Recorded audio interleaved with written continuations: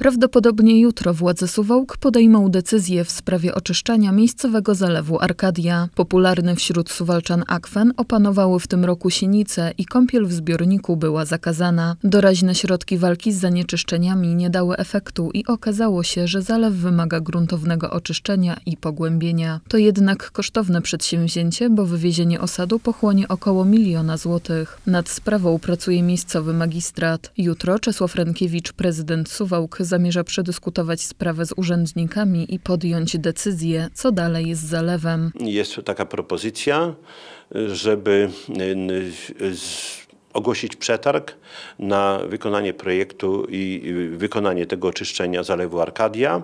Taka jest propozycja ze strony Wydziału Inwestycji, bo y, rozpoznanie wstępne y, nie przyniosło pozytywnego rezultatu w zakresie y, firmy, która by podjęła się opracowania najpierw dokumentacji, czyli trzeba to zrobić, opracować dokumentację i, i wykonać, nie? czyli projektuj, buduj, tak potocznie to nazywamy. Do kogo należy decyzja? Generalnie do mnie należy decyzja, ale kolegialnie tutaj takie decyzje są podejmowane, wsłucham się we wszystkie głosy i podyskutujemy jutro na kolegium.